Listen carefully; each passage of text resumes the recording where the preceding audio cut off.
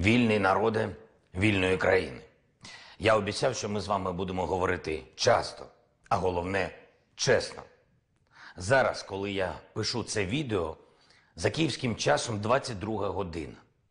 Як і обіцяв, відкрито розповідаю про всі наші дії, аби ви точно розуміли, що відбувається в Україні та за її межами. Вчора Росія визнала незалежність квазіутворень на тимчасово окупованих територіях України. Сьогодні ратифікувала так звані угоди та надала дозвіл президенту Росії на використання збройних сил за кордоном, тобто на Донбасі, на території України. На зміну нас там нет прийшло офіційне ми все-таки тут, ухвалене на найвищому політичному рівні, одноголосно. І дає чітку відповідь, хто дійсно хоче миру на землі, а хто переділу земель. Цим рішенням Росія в односторонньому порядку вийшла з мінських домовленостей, тих самих, що, за її словами, не мали жодної альтернативи. Особисто для нас безальтернативним є завершення війни, а не майданчик або формат. Я готовий робити це як у двосторонньому форматі, так і за участю інших лідерів. Але я хочу підкреслити, що для мене головне збереження суверенітету і територіальної цілісності України. Перший формат, над яким ми зараз працюємо, саміт лідерів держав, постійних членів Радбезу ООН, України, Туреччини та Німеччини. Більшість учасників саміту вже підтримали цю ініціативу, зокрема, президент Ердоган, який підтвердив це мені сьогодні у телефонній розмові. Я також радий, що партнери показують, що альтернативи не мають запровадження санкцій. Вчора я говорив з президентом США Байденом, який ухвалив запровадження санкцій проти так званих ЛНР, ДНР, а також Росії.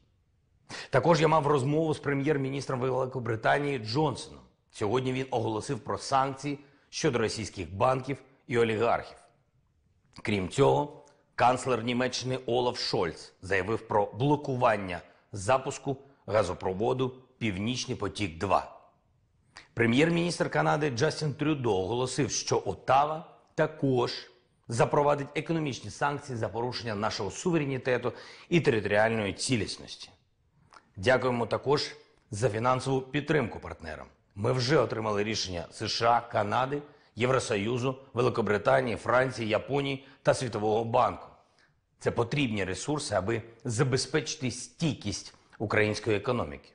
Щодо безпеки і оборони, на сьогоднішній день немає потреби у загальній мобілізації. Нам необхідно оперативно доукомплектувати українську армію та інші військові формування.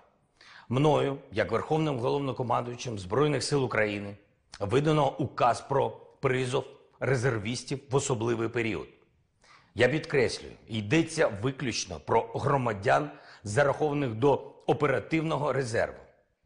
Маємо підвищити готовність українського війська до всіх можливих змін в оперативній обстановці. За рішенням головнокомандувача Збройних сил України найближчим часом також будуть проведені навчальні збори резервістів системи тероборони. Поки наші воїни захищають нас, ми повинні працювати, вкладати гроші в економіку України, заробляти для фінансування нашої потужної армії.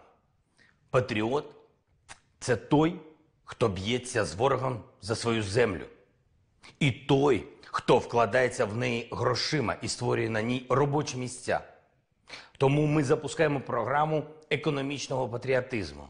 Це додаткові стимули для локалізації нашого виробництва, цільові програми підтримки окремих галузей, зменшення податкового навантаження на бізнес та обмеження перевірок. Це стимули для залучення коштів населення у бізнес та банківську системи, зниження ПДВ на бензин та дизель, що зменшить ціни на заправках. Наша мета здобуття економічної незалежності, особливо у енергетиці. Зараз всім українським політикам час бути державними діячами, відкинути свої амбіції заради нашої держави. Перед записом цього відео я зустрівся з усіма лідерами парламентських фракцій і груп. Всі розуміють, що сьогодні у парламенті нам потрібна оборона коаліція, єдність, швидкі та важливі рішення для економічної стійкості і обороноздатності нашої держави. Сьогодні всі політики, всі партії одного кольору синьо-жовтого. Завтра у мене буде зустріч 150 нашого великого бізнесу. Всі вони мають залишитися в Україні. Їхні підприємства знаходяться на нашій українській землі, яку захищають наші військові. Отже, і бізнес має захищати нашу економіку, фінанси, створювати робочі місця, підіймати і зміцнювати Україну разом, кожен на своєму фронті. Шановні громадяни, українці, мирна нація, ми хочемо тиші. Але якщо ми сьогодні промовчимо, то завтра зникнемо. Нас чекає щоденна важка робота.